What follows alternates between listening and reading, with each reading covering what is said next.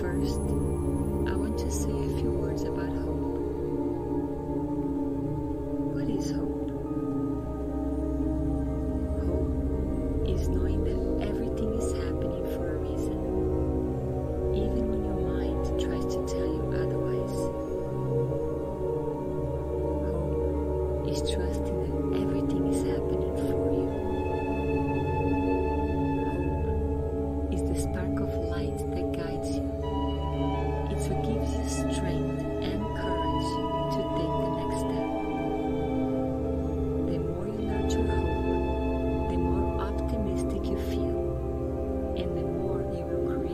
Positivity and joy.